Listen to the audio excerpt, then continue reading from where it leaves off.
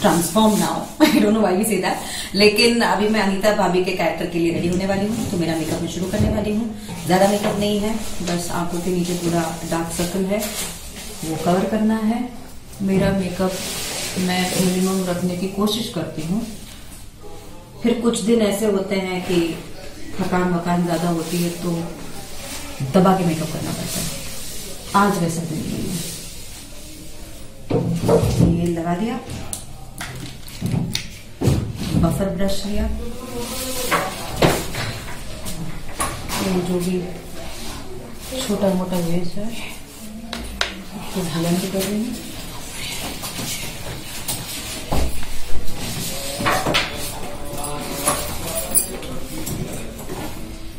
मुझमें पेशेंस बड़ा कम है, वो आप मेरे ब्लेंडिंग प्रोसेस से देख ही सकते हैं। काफ़ी एक अमेच्योर लेवल जैसा ब्लेंडिंग चल रहा है। ओके तो अभी बेस हो चुका है। अभी आँखों के लिए प्राइमर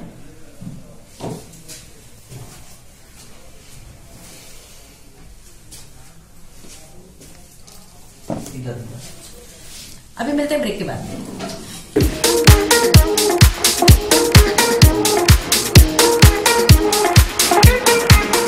तो जैसे कि आप देख सकते हैं आप मैं फाइनली अनीता भाभी बन चुकी हूँ अपने कैरेक्टर में जा चुकी हूँ।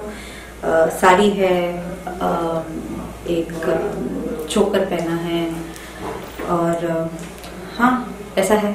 अब भागना पड़ेगा मुझे क्योंकि थोड़ा डिले हो चुका है। So I am rush and wish me luck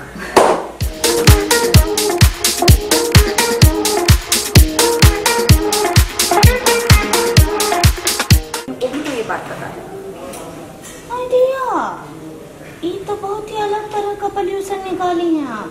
solution pollution नहीं सोल्यूशन आ सही पकड़े हाँ। ये तो बहुत ही अलग तरह का आ,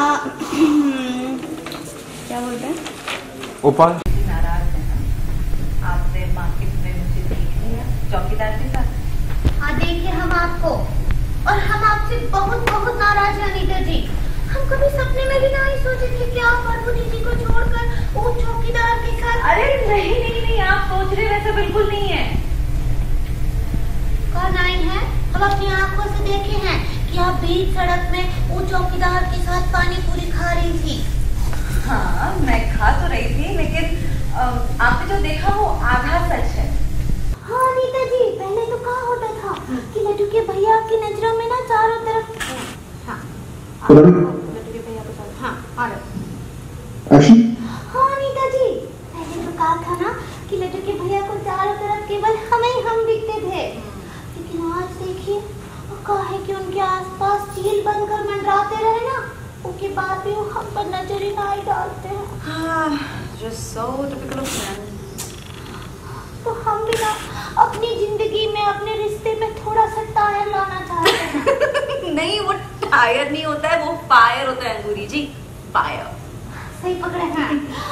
हाँ तो हम बोल रहे हैं हाँ। कि अगर आप बुरा नहीं माने ना तो वो जो आपका वॉचमैन है। वो आप हमको किराए पर दे दीजिए। हम भी वो के साथ जाके पता सिखाएँगे और लड़के भैया को दिलाएँगे फिर हमारे रिश्ते में भी आग लग जाएगा।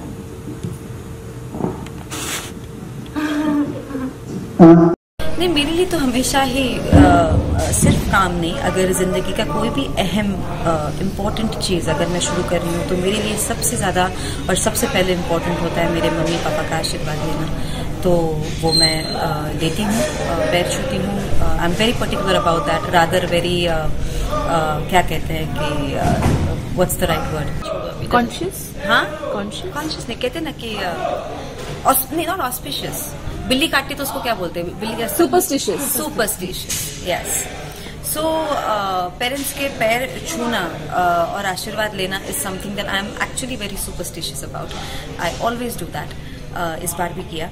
एंड नर्वसनेस होती है एक्साइटमेंट सच बोलूँ तो थोड़ी कम होती है नर्वसनेस ज़्यादा होती है क्योंकि आप कुछ नया करने की कोशिश कर रहे हैं उसमें आप एक um, ढूँढने की कुछ कोशिश कर रहे हैं अपने आप को ढालने की कोशिश कर रहे हैं।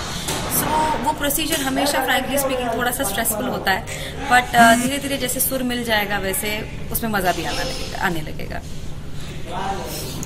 नेहा जी अब अपने लुक के बारे में कुछ बताएँ। अबाउट योर कॉस्ट um, आज तो सिंपल सा लुक है। uh, घर में एक मॉडर्न टाइप की लड़की या एक अनीता भाभी का घर में जैसे ड्रेसिंग रहेगा वैसे है। कैजुअल सा सीन है इसलिए कुछ ज़्यादा साड़ी या कुछ हैवी ऐसा कुछ नहीं है। Um, तो बस आज के अभी के सीन के लिए this this really goes but otherwise also I am very excited about saris मुझे पर्सनली साड़ियाँ बहुत पसंद है।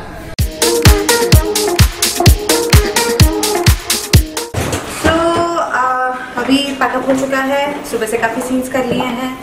So I go and change and leave for home bye